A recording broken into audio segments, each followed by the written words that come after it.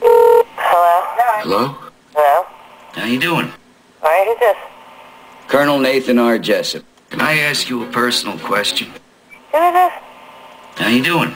Colonel Nathan R. Jessup, Commanding Officer, Marine Ground Forces, Guantanamo Bay, Cuba. Who is this? Colonel Nathan R. Jessup. Can I ask you a personal question? All right, is this a joke? No. All right.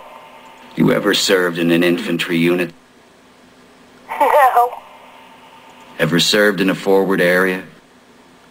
No, why have you? Yes. Ever put your life in another man's hands?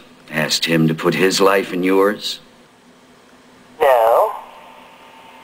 I'd appreciate if he would dress me as Colonel or Sir. I believe I've earned it. Well, all right, sir. Take caution in your tone. What the hell is this? Who the hell is this? No, what the hell is this you're doing? Who is that? Colonel Nathan R. Jessup. Who, from? From where?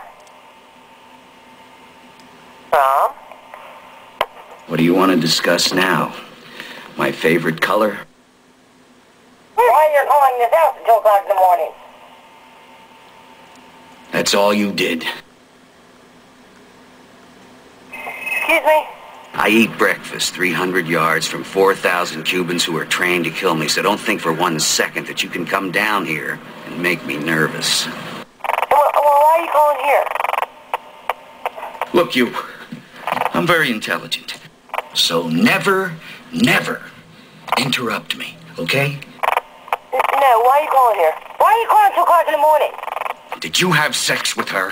Oh, fuck you, man. I'm a- You snotty little bastard.